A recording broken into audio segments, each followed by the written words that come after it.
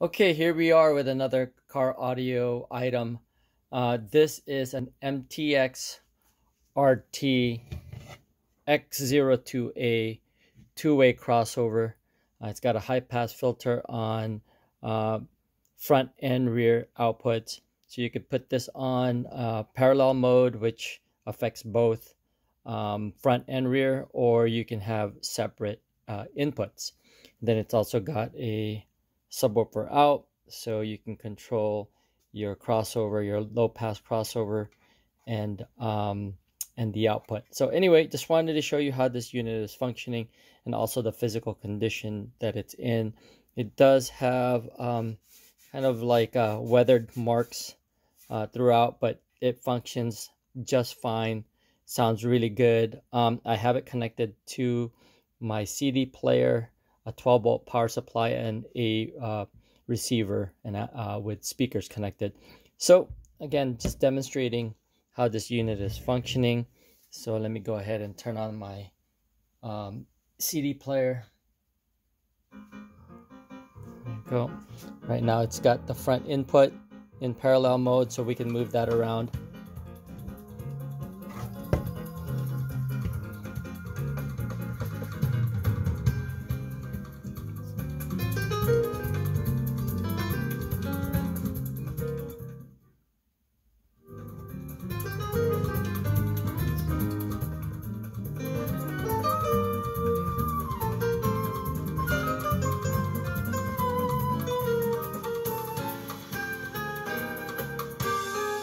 Hope you can hear that difference.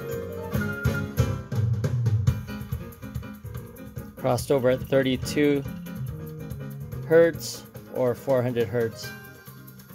Okay. Let's move this now to here. Same thing here.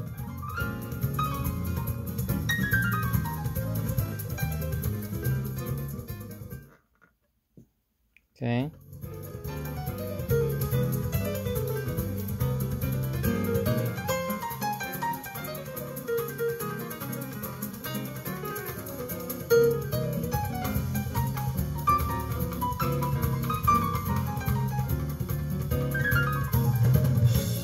Okay, so if I take this off and move this to the rear,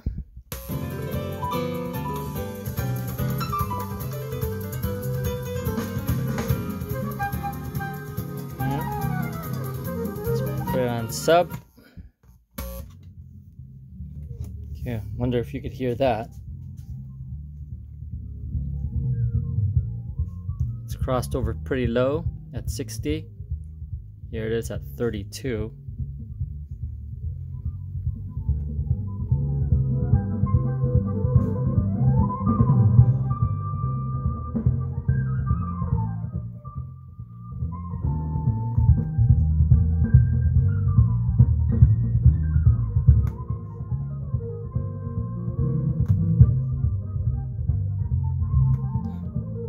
Okay, that pretty much concludes my quick demo of this item. Just wanted to show you how this unit is functioning. As you can see, again, the physical condition of this unit.